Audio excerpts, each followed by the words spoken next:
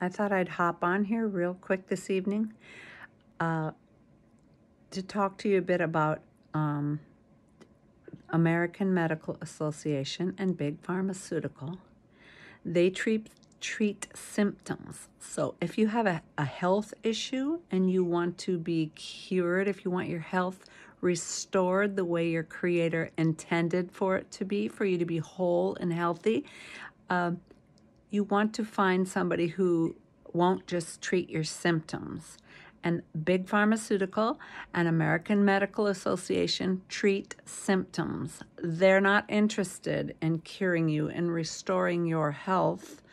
They're, they are interested in helping your symptoms be such that you can continue to work uh, and be useful until you get another symptom and then you'll need more medication to make to make that symptom go away which will cause six or seven more um, issues where you'll need more medication for those symptoms okay? So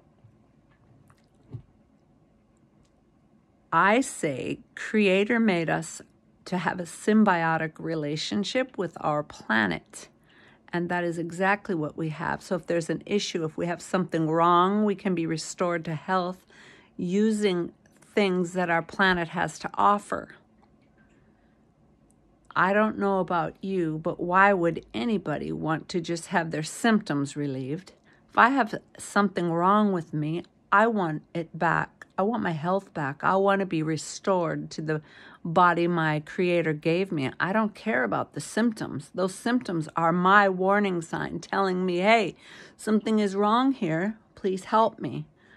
Right? Fix it.